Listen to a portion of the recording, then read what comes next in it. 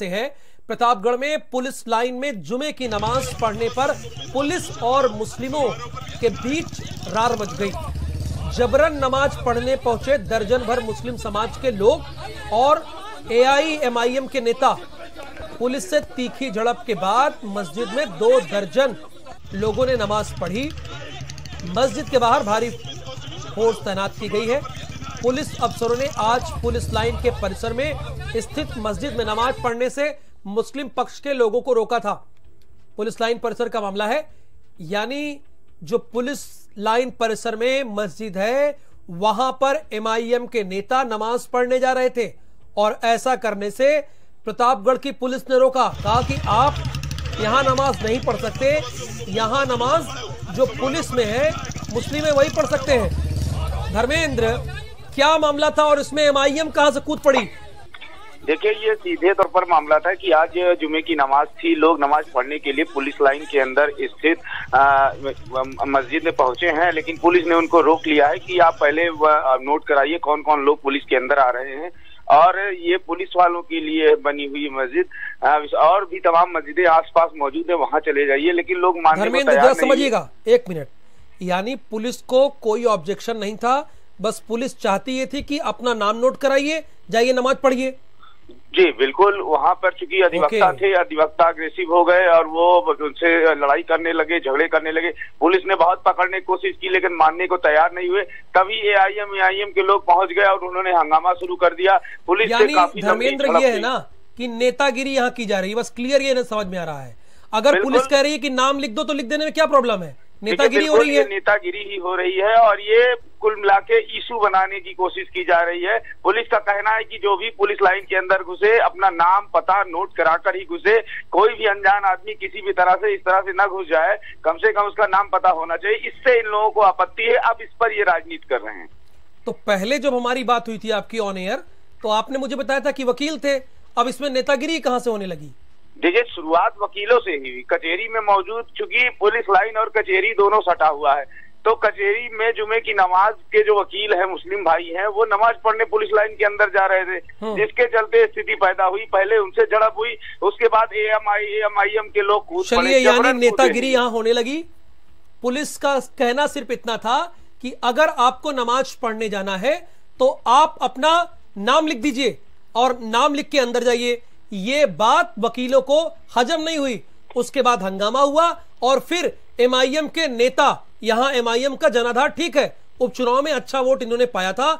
ये यहाँ पर नेतागिरी करने लगे। धर्मेंद्र लगातार हमारे साथ फ़ोन लाइन पर मौजूद हैं। धर्मेंद्र, जरा पहले होता क्या था यहाँ पे? वो भी हमारे दर्शकों को बताइए। क्या पहले भी पुलिस पुलिस इसी तरह की रोक टोक करती थी? देखिए, ये कई बार ये निर्भर होता है कि कप्तान किस तरह के हैं। एसपी अभिषेक सिंह सख्त किस्म के अधिकारी हैं, काफ़ी गुड वर्क उन्होंने किया, कई एनकाउंटर किए हैं। ये चाहते हैं कि सब कुछ साफ़ सुथरा और सही तरीके से कागज़ पे होना चाहिए। एंट्री कोई भी करता है मीडिया के लोग भी करते हैं तो उनसे ज़रूर पूछा जाता है कि आप कहाँ जा रहे हैं, किस लिए जा रहे हैं। और एंट्री वो लोग गाड़ी का नंबर का करते हैं या नाम पूछ लेते हैं। तो इस एक तरीका है और इस तरीके को मानने को तैयार नहीं है अधिवक्ता। उसके बाद ये नेतागिरी इसमें करने लगे ये हमारे के लोग। और ज़बरदस्त बवाल हुआ है गहमा गहमी का माहौल है तनाव है। अधिवक्ताओं ने हालाँकि नमाज़ भी पढ़ा है। ऐसा नहीं है कि नमाज़ नहीं पढ़ा उन्होंने। हाँ। लेकिन पुलिस ने कहा सिस्टम से आइए तरीके से आइए। हमने एक तरीका बनाया है उस तरीके तो के हिसाब से चलिए कोई विवाद न यहाँ पर माहौल बिगाड़ने की भी कोशिश की गई जो मैं तस्वीरों में देख रहा हूँ। कुछ लोग भाग रहे हैं पुलिस दौड़ा रही है। बिल्कुल पूरा माहौल बिगाड़ने की ही कोशिश थी।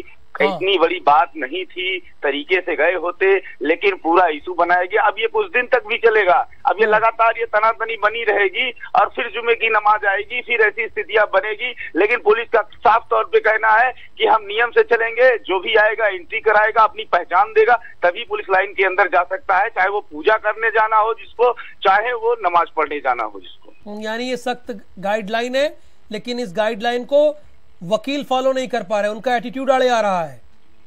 बिल्कुल एटीट्यूड है और जिसके चलते ऐसी स्थितियाँ बनी हुई हैं और पुलिस पूरी तरह से तैयार है कि ऐसी स्थितियाँ न पैदा की जाएँ कि जिससे सांप्रदायिक तनाव फैले या किसी और प्रकार का मामला फैले राजनीति नहीं होनी चाहिए। राजनीति जो हुई ये गड़बड़ हुई। एआईएम के लोगों ने बहुत हंगामा किया है। पुलिस के साथ बदसलूकी की है।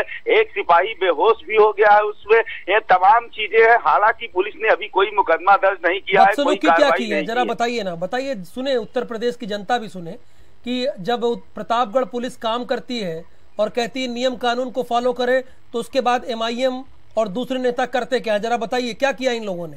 देखिए एआईएम एआईएम का जनाधार बड़ा है, विधानसभा में बाईस हज़ार वोट पाए हैं, इतना वोट कभी इनको मिला नहीं है। उसके बाद से ये अब राजनीति में कूद पड़े हैं, हर मामलों में दखल देते हैं। पुलिस का सीधा सा एक नियम है, कानून उसने बनाया है, जो भी बनाया, सही बनाया है। पुलिस लाइन की सुरक्षा को लेकर बनाया है, एक रजिस्टर लेकर सिपाही गेट पर बैठता है, वहाँ पर एंट्री होती है और आदमी चला जाता है। चाहे वो मंदिर है, वहाँ पूजा करे, मस्जिद है, वहाँ पर नमाज़ पढ़े। लेकिन इन चीज़ों से उनको आपत्ति है, उनको धर्म से किसी सांप्रदायिक सौहार्द से कोई लेना देना नहीं है। इनको आवाज़ उठानी है अपनी राजनीति चमकानी है जिससे उनका वोट बैंक बढ़ सके और आगे आगे वो राजनीति में और दो कदम सांप्रदायिक रंग देने की कोशिश पुलिस वाले नहीं एमआईएम के नेता कर रहे हैं।